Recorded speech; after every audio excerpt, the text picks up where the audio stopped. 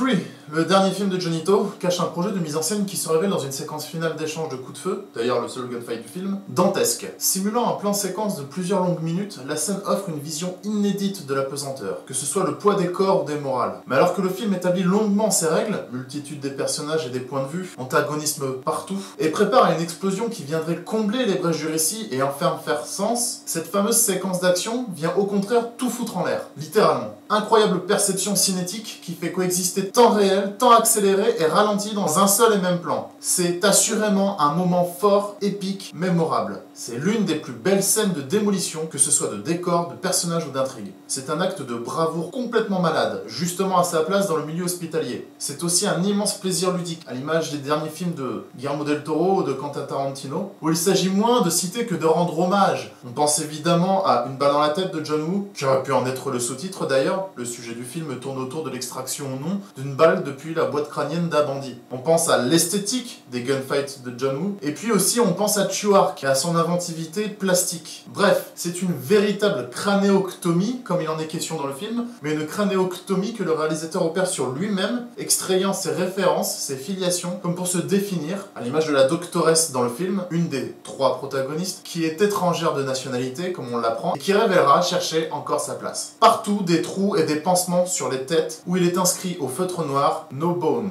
Pas de filtre, donc, pour accéder directement à la mémoire vive du cinéaste. Le film, plutôt que de faire sens, bouscule tout, fout tout en l'air de la plus belle des manières qui soit. Le semblant d'ordre qui en résulte, l'antagonisme se mue en autre chose, une sorte de complémentarité in extremis, et l'épilogue lugubre achève de donner à ce film l'allure d'une pathologie sévère et irrémédiable. Irrécupérable, certes, mais inoubliable.